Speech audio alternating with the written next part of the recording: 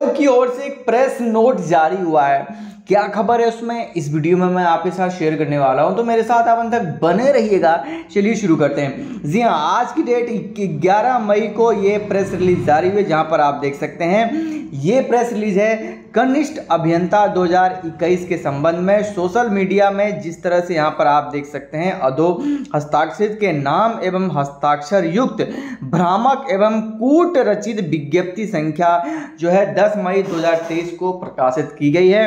उक्त विज्ञप्ति में निम्नवत उल्लेख किया गया है। एतवत सूचित किया जाता है कि उत्तराखंड राज्य कनिष्ठ अभियंता 2021 पर जो परीक्षा थी, उसका जो अध्याचन है, सरकार के पास वापस चला गया था, जिसके संबंध में राज्य सरकार द्वारा यह आदेश दिया गया है कि वर्तमान समय में राज्य में वित्त की कमी होने के कारण समस्त पदों को पूर्ण रूप से निरस्त कर दिया गया है। भविष्य में राज्य सरकार के कोष में वित्त आने के उपरांत इन पदों पर विचार किया जाएगा।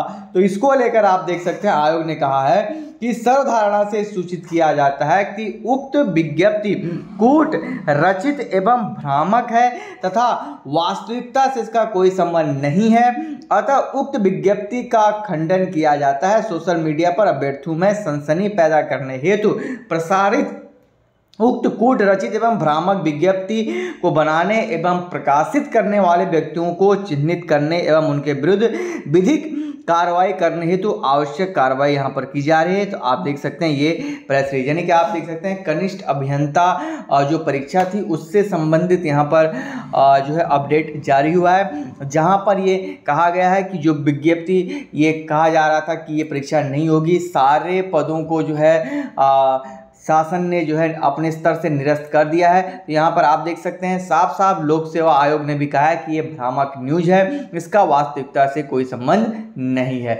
बाकी इस खबर पे आपकी क्या राय है, मुझे कमेंट सेक्शन में बताइए ज़रूर। वीडियो अच्छी लगी हो तो लाइक कर दीजिए और चैनल पर पहली बार आए तो सब्सक्राइब ज़रूर कीजिएगा। मिलता हूँ नेक्स्ट वीडियो में। थैंक्स वॉचिंग मी जय हिंद, जय भारत, जय उत्तराखंड।